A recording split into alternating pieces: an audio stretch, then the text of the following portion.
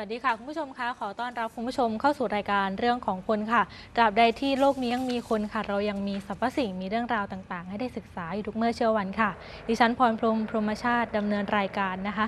ในวันนี้ค่ะคุณผู้ชมเรื่องราวที่เราจะพูดคุยในรายการนะคะ ก็บอกว่าเป็นเรื่องที่เกิดขึ้นในตลอดสัปดาห์ที่ผ่านมาค่ะ เป็นประเด็นกันเลยทีเดียวนะคะ ไม่ว่าจะเป็นเรื่องของมติกกตมีคำสั่งส่งสาร รัฐธรรมนูญให้วินิจฉัยเรื่องการปล่อยเงินกู้ 191 ล้านบาทของคุณธนาธรให้แก่พรรคอนาคตใหม่เนี่ยว่าชอบด้วยกฎหมายหรือไม่นะคะก็สร้างความตะลึงตกใจให้กับคอการเมืองรวมถึงเหล่าแฟนคลับของพรรคอนาคตใหม่ไปมากมายเลยทีเดียวนะคะแต่ในขณะหนึ่งเนี่ย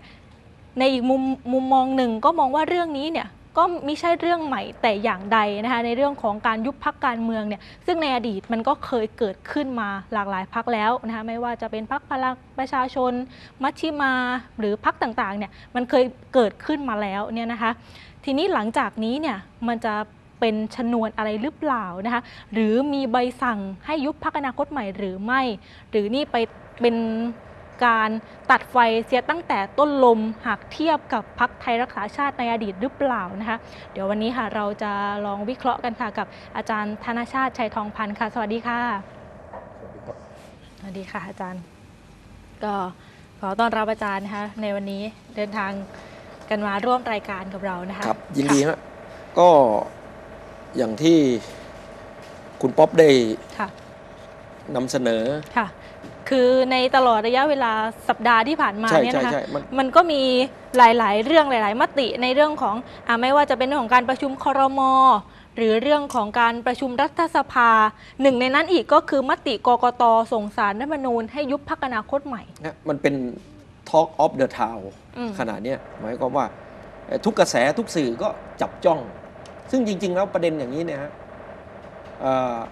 หลายเดือนแล้วนะครับ แต่ว่าเอ่อ มันเพิ่งขึ้นมาพีคค่ะเพราะว่าที่ผ่านมาก็เป็นเรื่องของการคาดเดา คาดเดา ประเมินสถานการณ์ แต่ว่าวันเนี้ยพอมาถึงจุดนี้เนี่ยมันก็ยังเหลืออีกขั้นตอนหนึ่งก็คือขั้นตอนไปสู่สารรัฐธรรมนูญค่ะ อันนี้เพิ่งเพิ่งเริ่มต้นค่ะเพิ่งเริ่มต้น ซึ่งทางกกตเองก็ ไม่อธิบายอะไรมาก มีเอกสารอยู่ 5 บรรทัดแบบอ่าที่อ่าอาจารย์ปิยบุตรเนี่ยได้แถลงไปแล้ว ค่ะ แต่คุณป๊อปต้องเข้าใจว่าไอ้เรื่องเนี้ยมันไม่ใช่เรื่องใหม่อืม ในทางการเมืองในช่วง 10กว่าปีที่ผ่านมาค่ะ ไม่ใช่เรื่องใหม่ ถ้าเราจะเห็นการยุบพักการเมือง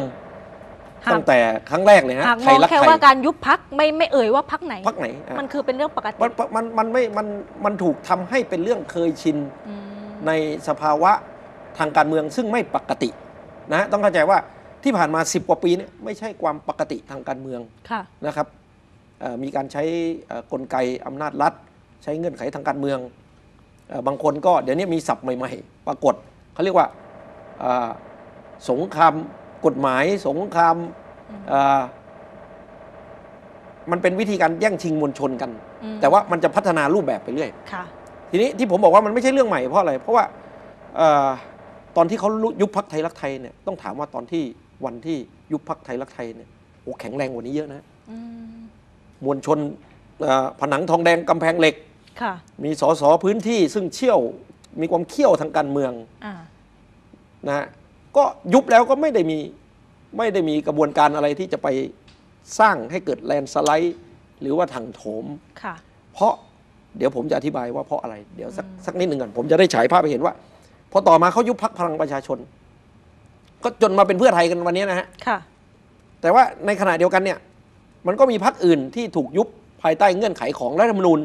ฉบับนั้นค่ะ ๆ โดยเฉพาะรัฐธรรมนูญฉบับ 50 เนี่ยก็ก็เขาก็ยุบไปหลายพักนะครับ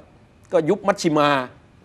ยุบพักชาติไทยต่อมาก็มาเป็นชาติไทยพัฒนา อืม เพราะฉะนั้นกรณียุบอนาคตใหม่เนี่ยมันจึงเป็นเรื่องที่เคยเกิดขึ้นมาแล้ว ค่ะ แต่บังเอิญอ่าขณะเนี้ยปัจจุบันเนี้ยเขาเรียกว่าโลกโซเชียลมีเดีย ซึ่งมีอ่าผลในเชิงจิตวิทยา การเมืองค่ะนะมันเป็นเครื่องมือชนิดใหม่อ่าซึ่งวันนี้เนี่ยเราต้องมองว่าเอ่อวิวัฒนาการพวกเนี้ยมันจะส่งผลไปสู่การขับเคลื่อนการเมืองข้างหน้าหรือเปล่า ถ้าเรามองย้อนไปในเหตุการณ์พฤษภาธมิน ซึ่งผมกับคุณจตุพรก็ร่วมกันในการต่อสู้ค่ะไอ้ตอนนั้นนะมันมีแค่ไอ้แพ็กลิงก์นะฮะต้องโทรศัพท์กับข้อความเอ่อวิทยุมีจอสอร้อยอืมแล้วก็ สื่อหนังสือพิมพ์ เช้ามาก็อย่างดีก็มีพวกที่หยิบหนังสือพิมพ์มาอ่านข่าวค่ะโทรทัศน์ตอนเช้า แต่วันเนี้ยเนี่ยทุกคนเป็นสื่อหมด ทุกคนเป็นสื่อหมด เพราะฉะนั้นพัฒนาการมันก็เลยเปลี่ยนไปค่ะแต่ว่าอย่าลืมว่าในขณะที่ที่มันมีกระบวนการปิดกั้นนะ14 ตุลาเนี่ยมีกระบวนการปิดกั้นสื่อ พฤษภาธมินมีกระบวนการปิดกั้นสื่อค่ะนะครับ ไม่ให้ออกข่าว แต่ว่าประชาชนก็ขับเคลื่อนอืมแต่วันเนี้ยประชาชนทุกคนมี มีสื่อเป็นของตัวเองอืมมีเครื่องมือค่ะมี Facebook ไลฟ์ไอ้ตรงนี้เนี่ยผมกลับมองว่ามันเป็นมุมที่ไม่สามารถไป เนื่องจากคนมันมีทางออกแล้วไงฮะต้องเข้าใจนะ มันมีทางออกหมายความว่าเอ้ยถ้าไม่พอใจว่าเขายุบพรรคอนาคตใหม่นะเขาก็กดไลค์กดแชร์ ก็คือ แสดงความคิดเห็นการแสดงความคิดเห็นกันในโลกโซเชียลมีเดียครับ มันผิดกับในอดีตในที่ในอดีตครับ เรามามีการเรียกร้องครับนำไปสู่การชุมนุมอะไรต่างๆ นารับนาเนี่ยนะรัคะบค่ะเพราะฉะนั้น ไอ้ตรงเนี้ยมันก็เลยเป็นมุมว่าที่คนบอกว่าลงถนนหรือเปล่าลงได้ไหมอันนี้เป็นเป็นคำถามสำคัญนะเพราะผมเห็นทุกสื่ออะทุกวันนี้เขาก็จะวิเคราะห์กันว่า อยากจะรู้ว่ามันจะลงได้ไหม อ่าแต่ว่าผมว่าเอ่อเงื่อนไขมันไม่ใช่ อืมเงื่อนไขไม่ใช่ ต้องเข้าใจว่าเงื่อนไข 14 ตุลาเนี่ยคือเงื่อนไขที่เอ่อถูกบล็อกเรื่องสิทธิและเสรีภาพขั้นพื้นฐานนะค่ะเราไปเรียกร้องรัฐธรรมนูญ อืม เงื่อนไขพฤษภาธมินเป็นเงื่อนไขที่เอ่อรัฐบาลรัฐประหารสืบทอดอำนาจ นะฮะประชาชนไม่พอใจที่พลเอกสุจินดาจะอยู่ในอำนาจต่อไปค่ะ นะฮะทีนี้ไอ้เงื่อนไขขณะเนี้ยมันไม่ใช่เงื่อนไขที่สามารถจะยกระดับไปสู่การขับเคลื่อนอืม นะโดยเฉพาะการเมืองแบบเนี้ยต้องเข้าใจว่าการเมืองที่ที่ชนชั้นกลางเอ่อเป็นปัจจัยในการเปลี่ยนนะฮะต้องเข้าใจว่าคือถ้าถ้าคนศึกษาการเมืองมาเยอะเนี่ยก็จะเห็นว่า สมัยก่อนเนี่ยเอากลับมากลับมาที่ความรู้สึกนึกคิดของคนก่อน ค่ะ สมัยก่อนเนี่ยเวทีในกรุงเทพเนี่ยเป็นเวทีที่เขาเรียกว่าเวทีปราบเซียนอืม เอ่อวันดีคืนดีก็คุณสมัครสุนทรเวชคะแนนท่วมท้นพรรคประชากรไทยความนิยมสูง ค่ะ กวาดไป 30 เขตสร้างเลือดใหม่การเมืองเยอะแยะไปหมด ในสนามเลือกในตั้งสนามเลือกตั้งกทมกทมนี่เนี่ย คือท้าทาย อ่าครับ มันปราบเซียน พอประชากรไทยเขาชนะการเลือกตั้ง วันดีคืนดีพลังธรรมก็มาอืมนะฮะซึ่งถามว่าขั้วความคิดทางการเมืองเนี่ยทั้งพลังธรรมทั้งประชากรไทยเนี่ยคนละขั้วนะฮะถ้าอุดมทางอุดมการณ์ทางการเมืองเนี่ยคนละแบบเลยค่ะมีความชัดเจนคนละแบบเลย ทีนี้ต่อมาก็ประชาธิปัตย์ก็ยึดสนามกรุงเทพมหานครอืมหมายความว่าคนกรุงเทพนี่เปลี่ยนได้ตลอดค่ะ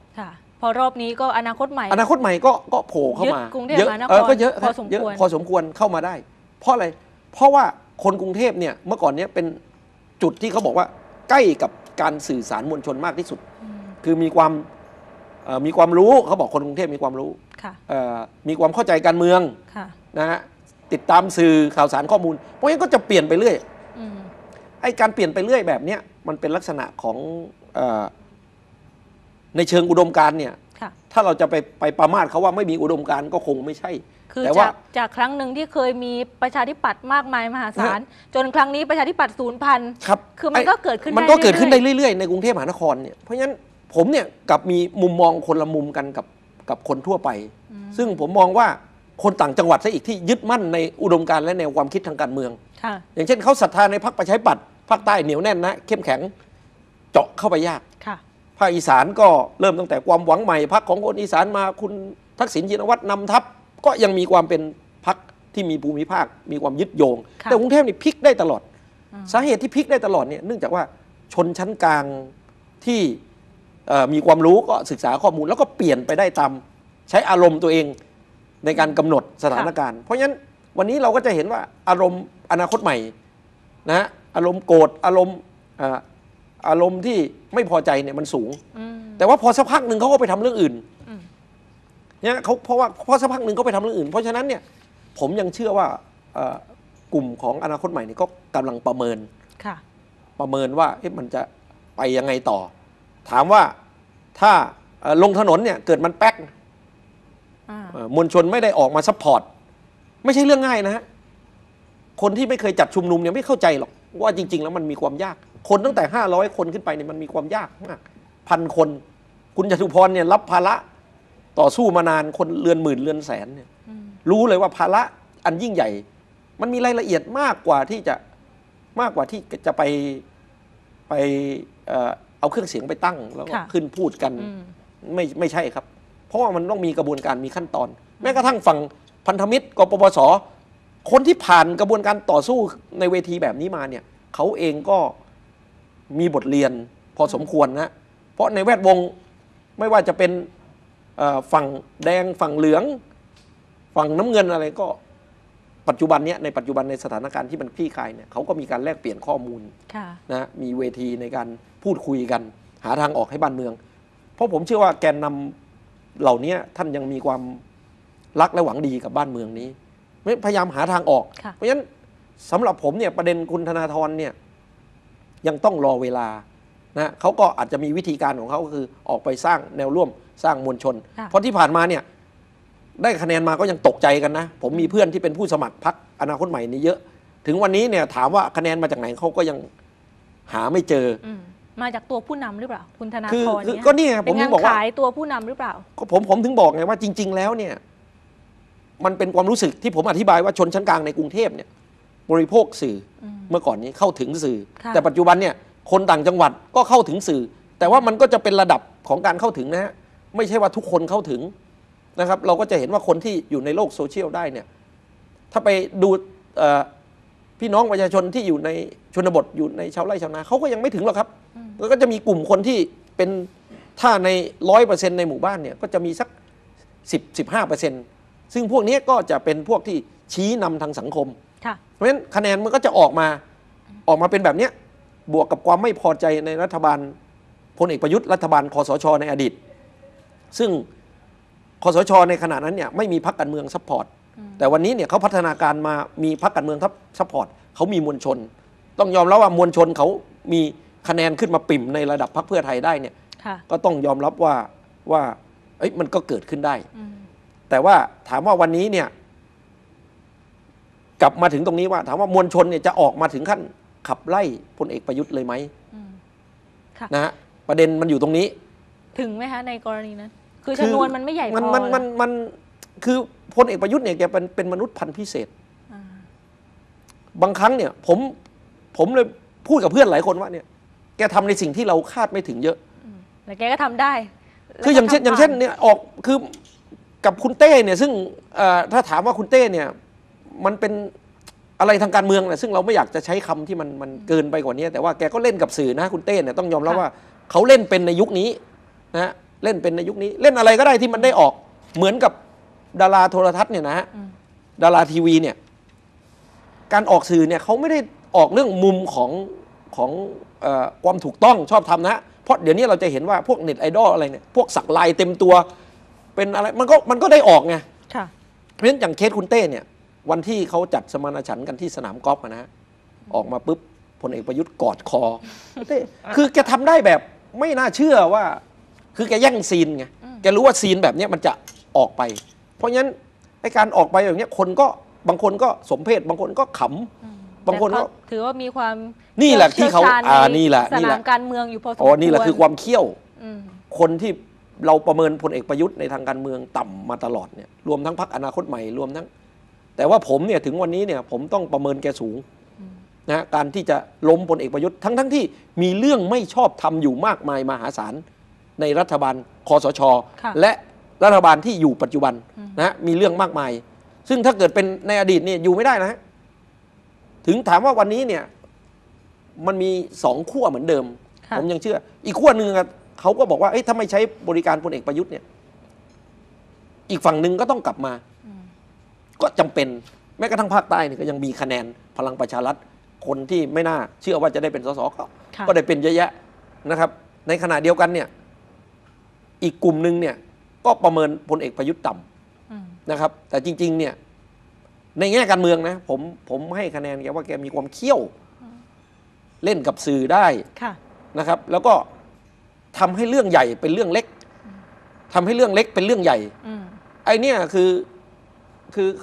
คือว่าง่าย ๆ ว่าเป็นยุคของยุคของพลเอกประยุทธ์อะโอ้แกแกยิ่งกว่าแกยิ่งกว่าพลเอกชาติชายเอ่อผสมคุณชวนหลีกภัย ผสมพลเอกชวลิตอืมแกผิวแบบไม่ไม่น่าเชื่อ เพราะฉะนั้นคนที่ติดตามการเมืองอะเนี่ยแหละคือสิ่งที่ทำให้ประชาชนเนี่ยยังเอ๊ะลังเลค่ะใช่ไม่ใช่อืมจะไล่ดีไม่ไล่อืมแต่ถ้าถามว่าอารมณ์คุกกุ่นขนาดนี้ปัญหามันไม่ใช่ปัญหาตัวบุคคลแล้วมันเป็นปัญหาเศรษฐกิจอืมค่ะคือเอ่ออย่างเช่น กลับมาที่การจะยุบพักอนาคตใหม่เนี่ยค่ะคืออย่างนี้ค่ะอาจารย์ คือถ้ามองว่า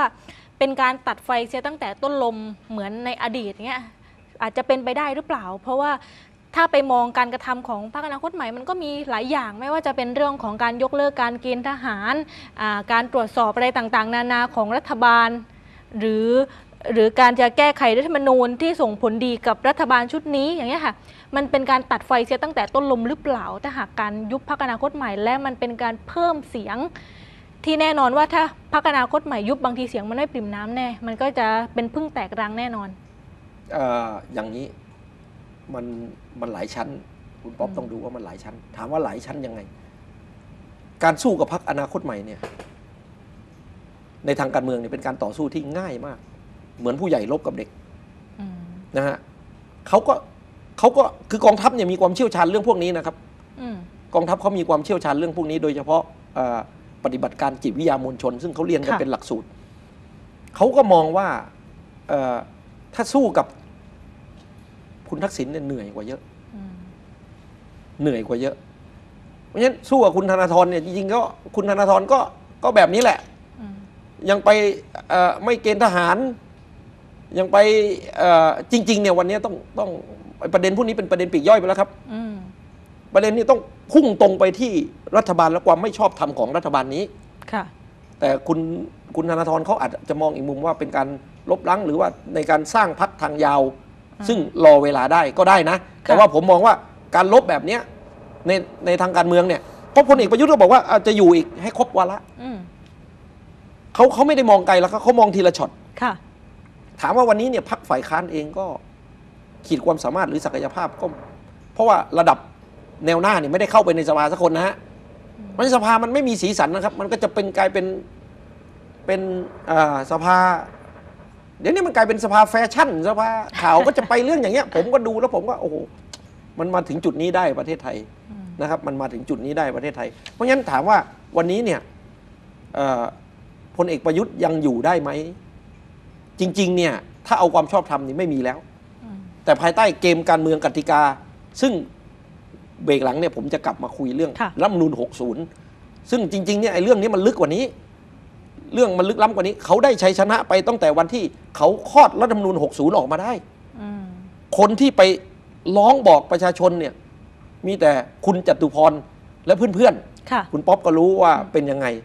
ได้ไปสัมผัสกับพี่น้องประชาชน ที่ได้ลุกขึ้นมาต่อสู้แล้วโดนคดีนะค่ะคุณป๊อปอยู่ผมผมยังจำได้แทบจะวันที่ไปทุกจังหศาวัลดเอ่อคุณป๊อปนั่งร้องไห้ ไอเนี่ยคือคือก็คือเอ่อความบาดเจ็บของการต่อสู้ทางการเมือง ค่ะ นะฮะแต่ว่าในขณะเดียวกันเนี่ยคนอีกซีกหนึ่งในวันที่เราบอกว่าเฮ้ยเนี่ยเขาจะยึดบ้านยึดเมืองแล้วนะอืมกับเงียบอืมกับเงียบ เพราะรอเวลาที่จะได้ประโยชน์จากรัฐธรรมนูญปี 60 ค่ะ นะฮะพรรคการเมืองปัจจุบันที่มันเกิดขึ้นมาได้เนี่ยเกิดจากผลพวง ของการที่เขาศึกษารัฐธรรมนูญแล้วเขาเห็นช่องว่าง เขาคิดว่าเมื่อเขาเข้ามาได้เนี่ยเขาจะไปเปลี่ยนแปลงข้างหน้า อืมแต่เราเนี่ยกลับบอกว่ารัฐธรรมนูญ60เนี่ยคุณจตุพรพูดชัดกว่าเพื่อนเลย บอกว่าถ้ารัฐธรรมนูญฉบับนี้ผ่านไม่สมัครอะไรทั้งสิ้นนะฮะผมก็มองเหมือนคุณจตุพรเพราะฉะนั้นกลุ่มพี่น้องพ้องเพื่อนเราก็ลุกขึ้นมาต่อสู้รัฐธรรมนูญ60อืมแต่ในขณะเดียวกันเนี่ยคนที่รอเวลาและได้ประโยชน์จากรัฐธรรมนูญฉบับเนี้ยอยู่ในสภาทั้งสิ้นนะครับ ค่ะ แล้ววันนี้เนี่ยก็ค่อยกลับมาบอกว่าเฮ้ยค่อย ๆ แก้ค่อยๆให้ตัวเองแก้ได้มากอ่า อันนี้แหละในในทางยุทธศาสตร์เนี่ยมันพ่ายแพ้ค่ะ พ่ายแพ้อืมครับ ค่ะ เอาเป็นว่าพักกันสักครู่ก่อนนะคะผู้ชมช่วงหน้ากลับมาพูดคุยกันต่อค่ะ เกี่ยวกับผลประโยชน์ผลเสียเกี่ยวกับรัฐธรรมนูญฉบับปี 60 นี่ค่ะ พักสักครู่ค่ะ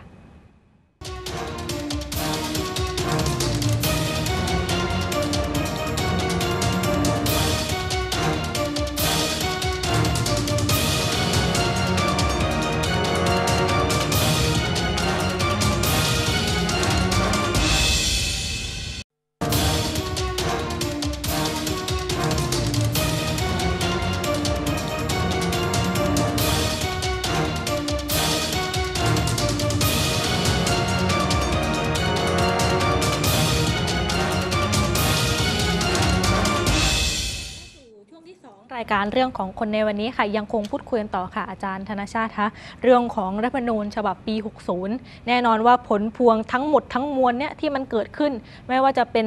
การรวมรัฐบาลผสมหลากหลายพักการเมือง รวมถึงพักเล็กพักย่อย 11 พักเหล่านี้เนี่ยที่ได้มาคนหนึ่งสองคนปัดเสียงกันบ้างอะไรต่างๆ นานาสอสอปัดเศษบ้างที่เขาเอ่ยกันเนี่ยนี่มันคือผลพวงทั้งหมดใช่ไหมคะถูกต้องครับผมถึงบอกว่าวันที่ พี่น้องนปชเนี่ยได้ลุกขึ้นมา แล้วก็บอกว่าไอ้รัฐธรรมนูญ60เนี่ยรัฐธรรมนูญฉบับเนี้ยเรายอมให้มันมีผลบังคับใช้ไม่ได้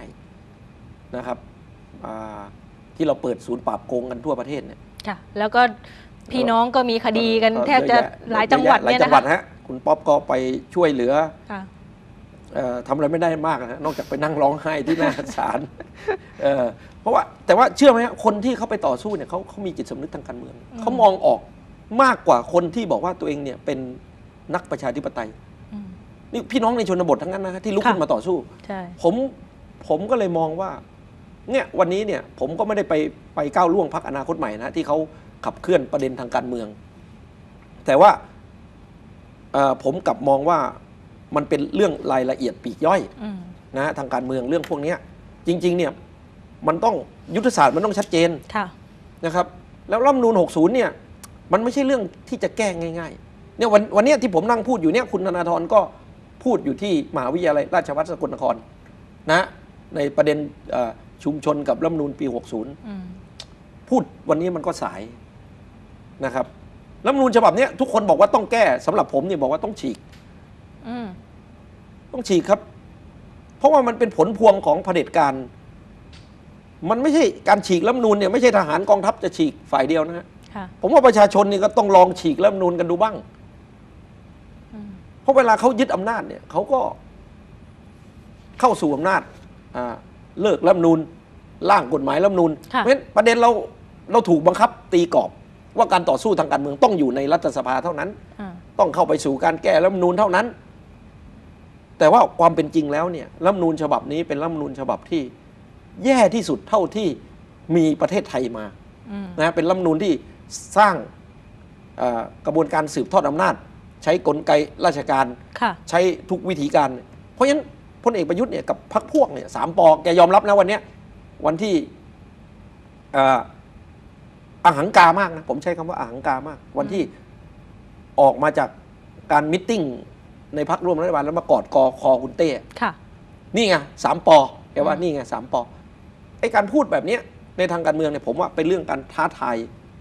ท้าทายประชาชนอย่างมาก คือแน่นอนว่าตัวเองก็ยืนได้แข็งแรงขาแข็งพครัอบสมควรถ้าครับไล่มาตั้งแต่ปี 57 เนี่ยครับนะคะแล้วก็เป็นการดูถูก ดูถูกประชาชนอ่านะครับ เพราะฉะนั้นแต่ว่ามันมันมันผมถึงบอกไงโดยบุคลิกลักษณะแกเนี่ยค่ะแต่ว่าไอ้คำพูดที่มันมันเราเนี่ยคนติดตามการเมืองเรามีความรู้สึกว่ารับไม่ได้อืมรับไม่ได้ แต่ว่ามันมีคนอีกกลุ่มหนึ่งที่มองการเมืองเป็นเรื่องสนุกเรื่องตลกโปกฮาเรื่องเรื่องเล่นอืม เขาทนได้ที่จะอยู่ในสภาพแบบนี้นะฮะแต่ว่าถามว่าวันนี้เนี่ยเอ่อไม่มันไม่ใช่เรื่อง ไอ้ไปวิ่งไล่ลุงมันเป็นงานอีเวนต์ผมว่าอืมคือพลเอกประวิตยก็ยังพูดถึงกรณีการวิ่งไล่ลุงเหล่าเนี้ค่ะ ว่า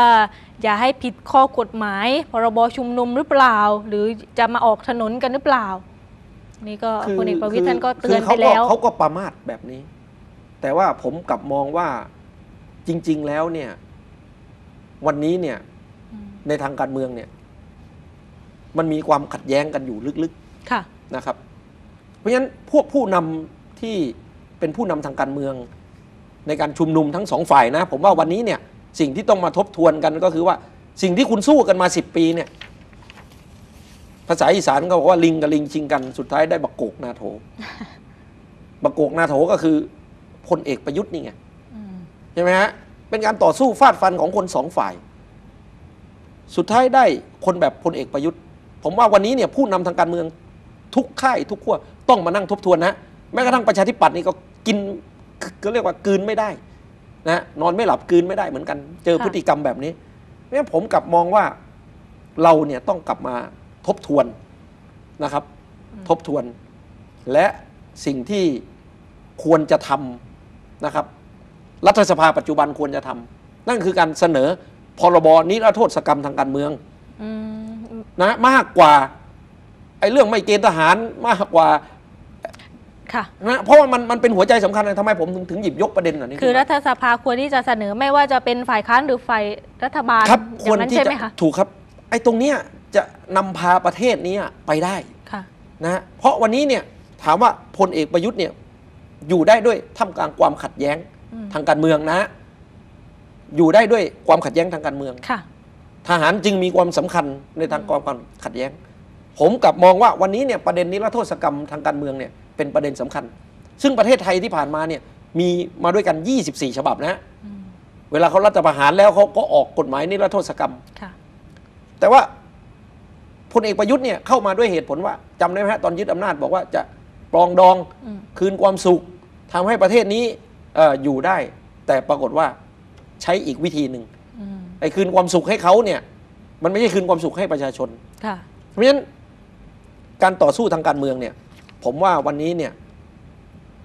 โดยเฉพาะผู้นำซึ่งส่วนใหญ่มีคดี มีคดีความจากการต่อสู้อืมนะครับ ควรที่จะเริ่มต้นและ มานั่งคุยกันว่า ถ้าการเมืองมันไม่มีความขัดแย้งพลเอกประยุทธ์ก็หมดความสำคัญทางการเมืองอืม นะฮะหมดความสำคัญทางการเมือง เพราะฉะนั้นวิธีการจะไล่พลเอกประยุทธ์เนี่ย มันไม่ยากหรอกครับ คุณก็สามัคคีกันสิอืมคุณจะเป็นเหลืองเป็นแดง เป็นน้ำเงินเป็นฟ้าคุณมานั่งคุยกันว่าพลเอกประยุทธ์เนี่ยเป็นศัตรูกับประเทศนี้ชัดเจนค่ะนะฮะแต่มันก็ยากนิดนึงเพราะว่ายังมีคนที่เห็นด้วยและเห็นชอบกับพลเอกประยุทธ์อยู่พอสมควรเนี่ยพอผมพูดบอกว่าพลเอกประยุทธ์เป็นศัตรูกับประเทศชัดเจน ผมทำไมกล้าฟันธงอย่างนี้ เพราะ 5 ปีที่ผ่านมาเนี่ยพฤติกรรมของพลเอกประยุทธ์เนี่ยมันมีความชัดเจน ในเรื่องเหล่านี้ทำเพื่อให้ได้อยู่ในอำนาจอืมและอธิบายว่าอำนาจของตนเนี่ยน่ะสามารถไปแก้ไขความขัดแย้งในบ้านในเมืองได้อืมนะครับ แล้วเขาพูดอยู่ตลอดเนี่ยวันนี้ผมก็ไปจับจับคุณจับความคำพูดของพลเอกอนุพงศ์ได้ ให้เขาเขาเขาใช้คำว่าเขาพูดกับพรรคประชาธิปัตย์นะเขาบอกว่า ให้มันรู้บ้างว่าประเทศไทยเนี่ยกำลังสู้กับอะไรอยู่ ใช่ไหมเขากลายเป็นสามปอนี่คือประเทศไทยไปแล้วอืมสามปอเนี่ยคือประเทศไทยไปแล้ว เพราะฉะนั้นเนี่ย วันนี้ผมก็ถือว่าใช้เวทีเนี้ในการบอกกับอ่าผู้นำหรือแกนนำทางการเมืองค่ะนะทุกฝ่ายว่า วันนี้คุณต้องมานั่งคุยกัน แล้วชี้ให้ชัดว่าศัตรูของการพัฒนาการเมืองไทยก็คือสามปอค่ะนะครับ อันเนี้ยต้องมีความชัดเจนตรงนี้ซะก่อน ถึงจะเดินต่อไปได้นะ ไม่ใช่เรื่องสร้างดาวคนละดวง ไปทำเรื่องนู้นเรื่องนี้ เพราะฉะนั้นในวิธีการเนี่ยในทางการเมืองเนี่ยมันก็จะสามารถที่จะเปลี่ยนแปลงได้ เพราะรัฐธรรมนูล60 ผมยังยืนยันว่าไม่สามารถแก้ไขได้โดยระบบรัฐสภา ไม่มีช่องทางใด ๆ ทั้งสิ้นค่ะมีทางเดียวประชาชนต้องลุกขึ้นมาแล้วฉีกรัฐธรรมนูญฉบับนี้อืมนี่คือนะการมันอาจจะไม่ใช่วิธีการ ต้องไปลงถนนต้องลงประท้วงผมว่าเนี่ยเงื่อนไข คุณต้องเปลี่ยนรัฐธรรมนูญทั้งฉทั้งฉบับ อืมเพราะการลงประชามติไม่ชอบด้วยกฎหมายนะครับ เขียนขั้นตอนกระบวนการ เพราะเนี่ยถามว่าวันนี้พรรคการเมืองเนี่ยควรจะทำเรื่องเหล่านี้ ค่ะ นะครับอ่าเสนอพรบนิรโทษกรรม เสนอเปลี่ยนแปลงรัฐธรรมนูญทั้งฉบับยกร่างขึ้นมาใหม่จำได้ไหมฮะ สมัยก่อนเนี่ยตอนที่คุณบรรหารเป็นนายกรัฐมนตรีเอ่อเขาตั้งคณะกรรมการยกร่างรัฐธรรมนูญเลยนะ แก้ไขเพื่อเพื่อเปลี่ยนแปลงรัฐธรรมนูญทั้งฉบับอืมค่ะไอ้แก้ไขบางประเด็นเนี่ยไปแก้ประเด็นที่ตัวเองได้ประโยชน์เอ่อเสียประโยชน์ แล้วก็จะไปรักษาประเด็นที่ตัวเองได้ประโยชน์ไว้อืมผมว่ามันไม่ไม่ตอบโจทย์ครับ วันนี้ต้องชัดเจนว่าเราจะเดินกันยังไงประเทศนี้อืมนะครับค่ะก็มันเป็นเรื่องราวที่มันเกิดขึ้นอยู่ใน สภาวะการเมืองที่มันดูเหมือนว่าจะไม่ค่อยจะสมบูรณ์มากนะเพราะว่าตลอดระยะเวลาที่ผ่านมาเนี่ยอะมันก็มีข้อคอรหาพี่น้องประชาชนเคลือบแคลงใจ พอได้จัดตั้งรัฐบาลแล้วก็ยังบางทีก็เหมือนจะขัดแย้งกันเองบ้างอะไรบ้าง ล่าสุดที่ผ่านมาก็เรื่องข่าวการปรับคอรมอในรัฐบาลชุดนี้ก็โผล่ขึ้นมาอีกแล้ว เพราะว่าบางคนก็บอกว่า เอะนี่ประชาธิปัตย์ขัดแย้งกับภูมิใจไทยหรือเปล่า ภูมิใจไทยขัดแย้งกับพลังประชารัฐอะไรบ้างหรือเปล่า อะไรอย่างนี้ค่ะ จน มีข่าวออกมาพุอ่าคุณวิษณุออกมาพูดว่ามีรัฐมนตรีท่านหนึ่งเคยบอกว่าเอ๊ะจะมีการปรับคอรมอนักข่าวก็ไปถามพลเอกประยุทธ์พลเอกประยุทธ์ว่าก็คือยังไม่แน่นอน แต่ว่าจะต้องดูผลงานหลังพรบงบประมาณผ่านอ่าคือเนี่ยผมผมถึงมองว่าสื่อเองก็ก็ไปเล่นเรื่องพวกเนี้ยอืมซึ่งเป็นรายละเอียดปลีกย่อยอืม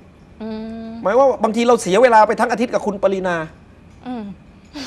โอ้โห ผมแบบ อะไรอะผมเซ็งมากนะ ผมก็บอกว่าอารมณ์ทางการเมือง ผมชั่วโมงเนี้ยมันมันใช้คำว่าสุดเซ็งค่ะเซ็งก็เพราะสื่อเนี่ย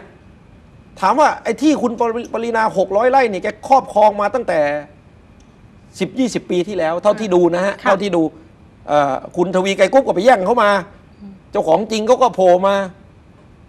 เอ่อมาทวง บางส่วน แสดงว่าหมายความว่าที่ผ่านมาเนี่ยคุณปปรินาคุณทวีไกรกุ๊บก็เป็นสสอืมอยู่ในพักซีกเอ่อไทยรักไทย ผมยังจำได้วันที่เขายึดอำนาจเอ่อปี 49 เนี่ยคุณทวีไกรกุ๊บแกไปนั่งอยู่ที่อนุสาวรีย์ประชาธิปไตย ผมกำลังดูว่าสสคนไหนเนี่ยจะลุกขึ้นมาสู้บ้างอืมคุณทวีไกรกุ๊บนี่แกไปนั่ง มีทหารนี่หิ้วหิ้วปีกคุณทวีไกรกุ๊บนะเข้ามาหิ้วสี่คนหามเลยค่ะเอาไปใส่รถตู้อ่าแล้ววันนั้นแกอยู่ซีกนี้อืมใช่ไหม แกเขาเขาเขาก็ครอบครองที่ดินแปลงนี้มา อืมก็ไม่ไม่ได้มีอะไรเกิดขึ้น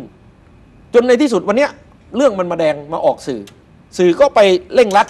ซึ่งถามว่าคุณปรินาเนี่ยแกผิดไหมผิด ผิดร้อยเปอร์เซ็นต์ ค่ะ ทำยังไงก็ต้องต้องบอกว่าผิด แต่ว่าวันนี้เนี่ยสื่อกลับมาโหมเป็นอาทิตย์สองอาทิตย์ ก็ไปให้ความสำคัญ ถามว่าถ้ากลับไปย้อนกลับไปว่าข้าราชการในพื้นที่อะอืม เมื่อสิปีที่แล้วตอนที่เขาไปบุกอะทำไมคุณปล่อยอะ ไอเนี่ยก็คือกลไกรัฐที่ผมอธิบายว่ามันเกิดขึ้นในรัฐธรรมนูล60 ค่ะห้าปีที่ผ่านมาเนี่ยเราถูกบริหารประเทศนี้โดยรัฐราชการ คุณประวิทย์คุณประยุทธ์ คุณอนุพงศ์สามปอเนี่ยเขาเรียนรู้เรื่องพวกนี้ ค่ะ ตั้งปลัดกระทรวงตั้งอธิบดีเขายึดไปหมดแล้วประเทศเนี้ยหมายควาโดมยโดยระบบราชการ ซึ่งคนพวกเนี้ยสามารถทำให้ถูกก็ได้ผิดก็ได้ วันนี้ถ้าฝากหนึ่งมาบริหารประเทศ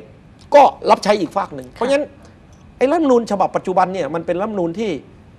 ถูกสร้างขึ้นมา เพื่อให้กลไกเหล่านี้ มีความเข้มแข็งค่ะนะฮะมีความเข้มแข็ง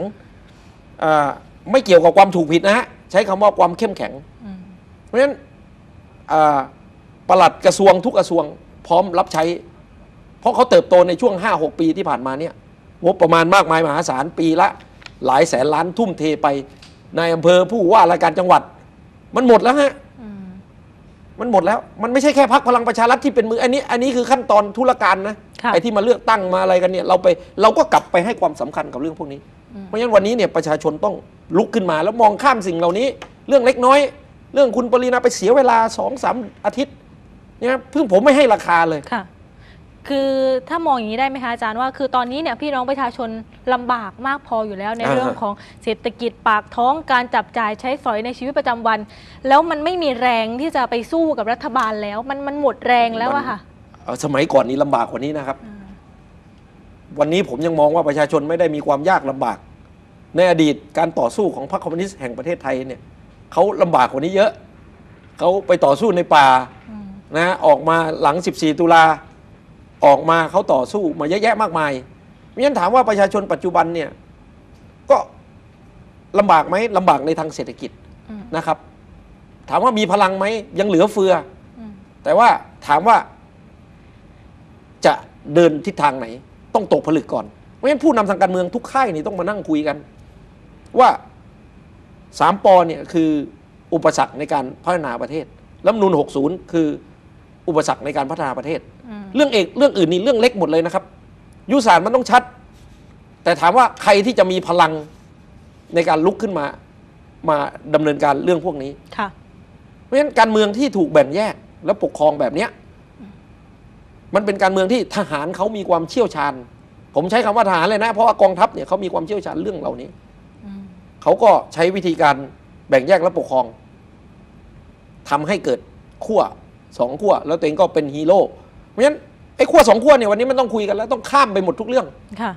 ต้องข้ามไปหมดทุกเรื่องนะครับ อย่าเพิ่งไปคิดว่าเมื่อเลือกตั้งแล้วใครจะชนะใครจะเป็นรัฐบาล เพราะฉะนั้นไอ้เรื่องพวกนี้เนี่ยมันเป็นเรื่องเรื่องเล็กไปแล้วอืมผมกลับมองว่าเป็นเรื่องเล็กไปแล้ว เรื่องใหญ่ก็คือว่าคุณจะปล่อยให้ประเทศนี้เนี่ยอยู่ภายใต้อำนาจแบบนี้เหรอ ค่ะ คืออย่างที่บอกว่าพี่น้องประชาชนลำบากปากท้องเศรษฐกิจอะไรต่างๆ นานาเหล่านี้เนี่ยพอแรงที่จะไปสู้กับรัฐบาลมันก็เริ่มจะอ่อนล้าลงไปหรือเปล่า หรือกับการที่รัฐบาลเนี่ยพยายามที่จะให้เงินบัตรคนจนบ้างท่องเที่ยวบ้างอะไรต่างๆ นานาเนี่ยก็คือเป็นการให้เงินกันไปให้เงินกันไป สิ่งเหล่านี้มัน ทำให้พี่น้องประชาชนอาจจะเป็นส่วนหนึ่งที่มองว่าก็ยังดีกว่าไม่มีอะไรเลยคืนี่หรือเปล่า คืออย่างนี้คนที่ได้รับอานิสงส์จากการบริหารจัดการรัฐแบบเนี้ยอืมพวกนี้ไม่ใช่เป็นพวกที่ลุกขึ้นมาเปลี่ยนแปลงทางการเมืองนะบอกคนที่ลุกขึ้นมาเปลี่ยนแปลงทางการเมืองเนี่ยก็คือปัญญาชนอืมชนชั้นกลางค่ะทุกครั้งที่เราเอ่อต่อสู้ในเวทีภาคประชาชนเนี่ยไม่ว่าจะเป็นฝั่งกปปส ฝั่งพันธมิตร หรือแม้กระทั่งนปช เหตุการณ์ 14 ตุลา 6 ตุลา ชนชั้นกลาง ปัญญาชนนะฮะซึ่งคนเหล่านี้มีพลังนะครับ มีมีพลังที่จะขับเคลื่อนประเทศนี้ไปได้เอ่อผมกำลังรอดูว่าวันนั้นเนี่ยจะเกิดขึ้นหรือไม่ แต่ไม่ใช่ลงถนนด้วยไอ้เรื่องยุบพักการเมือง อันนี้เรื่องเล็กครับอืมมันไม่มีเงื่อนไขเขาเรียกว่าสถานการณ์ไม่ไม่อยู่ในภายใต้เงื่อนไขที่สุกงอมค่ะไปสู่จุดนั้น เพราะฉะนั้น เราเราอย่าหลงทางผมถึงใช้คำว่าเอ้ยหลงทางไม่ได้เรื่องพวกเนี้ยมันต้องชัดเจนว่า เปลี่ยนแปลงประเทศนี้เนี่ย 14 ตุลามาจากการเรียกร้องรัฐธรรมนูญของ 13 นักศึกษาค่ะ11 ปีที่จอมพลถนอมอยู่ในประเทศนี้ พฤษภาธมินมาจากการสืบทอดอำนาจผลพวงของรัฐธรรมนูญอืมนะเกิดพักสามัคคีทำเหมือนพักพลังประชารัฐเขาเนี่ยแหละค่ะเพราะฉะนั้นผมกำลังมองว่าข้างหน้าเนี่ยทั้งประเด็นรัฐธรรมนูญ ทั้งประเด็นสืบทอดอำนาจโดยไม่ชอบทำไอ้เรื่องพวกนี้สำคัญกว่าอืมเราจะปลุกพี่น้องประชาชนถามว่าวันนี้ความรู้เนี่ย ผมเชื่อว่าเขามีทุกคนไอ้ประเด็นที่ออกสื่อกันทุกวันเนี่ย ผมว่าบางทีเนี่ยเอ่อสื่อไม่ทันประชาชนหรอกครับค่ะเขาไปไกลกว่านั้นแล้วอืมแต่ว่ามันขาดขาดภาวะ ขาดคนนำอืมขาดคนนำเราจะมองสถานการณ์การเมืองว่า อย่างในเหตุการณ์พฤษภาธมินเนี่ยพลตรีจำลองลุกขึ้นมาต่อสู้ แต่เอ่อในองค์คาพยพของพลตรีจำลองก็มี แต่ว่าภาพคนที่จะลุกขึ้นมาในเวทีเนี้ยมันจะเป็นใครอืมค่ะนะผมก็ไม่ได้ไปประเมินว่าคุณธนาธรทำไม่ได้นะ แต่ว่าเอ่อมันมันไม่ใช่เวลานี้อืมมันไม่ใช่เวลานี้ เพราะฉะนั้นมันเป็นเงื่อนไขที่คุณไปตก ตกเข้าไปอยู่ในเกมรัฐธรรมนูลปี 60 แล้วค่ะ ผมยังเชื่อว่าคนที่ไปอยู่ในเกมรัฐธรรมนูล60 เนี่ยไม่มีความชอบธรรมที่จะมานำอืมนะฮะในเมื่อถ้าเรายอมรับรัฐธรรมนูญฉบับนี้ไปแล้ว